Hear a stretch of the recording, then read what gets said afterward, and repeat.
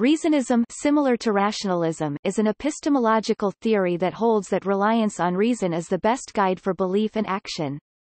Philosophically, it is the theory that the exercise of reason, rather than experience, authority, or spiritual revelation, provides the primary basis for knowledge. The term reasonist is used interchangeably with rationalist, both terms being used to distinguish them as true reasoners and rational inquirers. A number of writers and thinkers have used the terms reasonist or reasonism to identify themselves or their philosophy respectively, often preferentially to the labels such as atheist or atheism.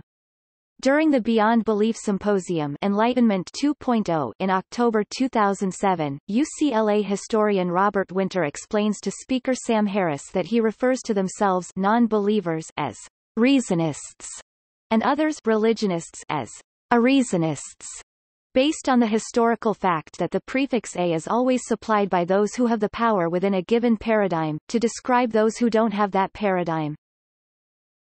Notes